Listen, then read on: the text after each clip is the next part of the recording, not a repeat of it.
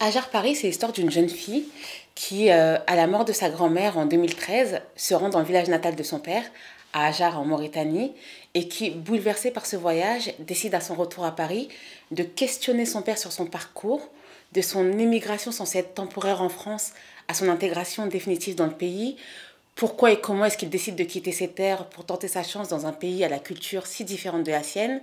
Quelles sont les différentes étapes de son exil et les épreuves qu'il traverse en tant qu'immigré en situation irrégulière? Et surtout, comment son histoire personnelle finit par s'inscrire dans la grande histoire nationale? Je commence à penser l'écriture de ce roman, j'ai 28 ans, et c'est une histoire que je ne connaissais absolument pas. J'ai une relation assez fusionnelle avec mon père, donc on discute énormément euh, de tout un tas de choses, et pourtant cette partie de l'histoire, cette partie de son histoire a toujours été tue. Euh, je suis une petite parisienne, je débarque dans un village totalement reculé de Mauritanie et j'ai du mal à associer ce village-là à la vie que mon père mène. Et par conséquent, je me demande comment est-ce qu'on peut passer euh, de ce petit village à vivre euh, dans la grande capitale qu'est Paris. J'ai appris dans un reportage que Zagen animait des ateliers d'écriture et je l'ai contactée pour qu'elle anime cet atelier d'écriture qui n'a finalement pas eu lieu.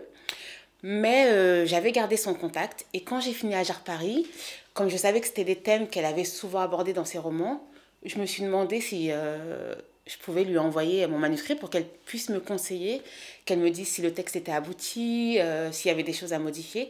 Donc vraiment, je lui ai envoyé pour qu'elle me conseille et non pas euh, pour tout ce qui est arrivé ensuite. Et quand elle l'a lu, elle a été très touchée. Elle l'a lu au moment où elle faisait la promotion de La Discrétion, qui est un roman sur l'immigration d'une femme algérienne.